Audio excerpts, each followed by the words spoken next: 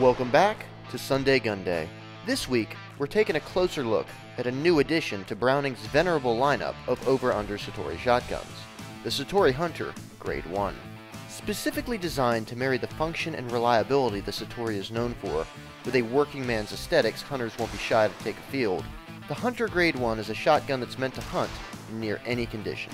The Citori Hunter Grade 1 is available with 26 or 28 inch barrels, blued in a deep gloss, with a quarter inch wide floating rib and a silver bead front sight.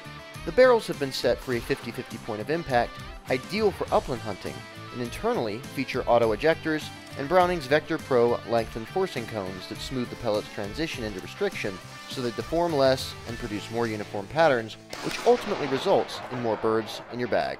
Chrome-lined chambers allow for increased durability and corrosion resistance. Three Invector Plus choke tubes are included, full, modified, and improved cylinder, so you'll be able to hit the field or sporting clays course right out of the box. The Hunter Grade 1 sports a Grade 1 American walnut stock with a satin finish, and Browning checkered the forend and pistol grip to a heavy 18 lines per inch to allow for maximum hold. At the rear of the buttstock, you'll find Browning's Inflex recoil pad, featuring specially shaped rib structures inside that drive the butt of the shotgun down and away from the shooter's face upon firing to reduce felt recoil. The Hunter's steel receiver houses Citori's acclaimed box lock action that, as Browning says, wears in, not out. As the metal hinges wear slightly, the tapered thumb lever seats deeper, thereby keeping the gun's lockup just as tight as it was when it was hand-fitted at the factory. This is a gun that gets better with age, and more importantly, with use.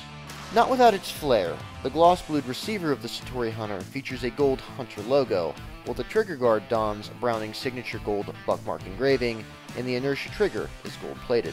The Citori Hunter Grade 1 has an MSRP from $2,180 to $2,250, depending on chambering, and is available chambered in 12, 20, and 28 gauge, as well as 410 bore, weighing between 6 pounds 14 ounces and 7 pounds 11 ounces.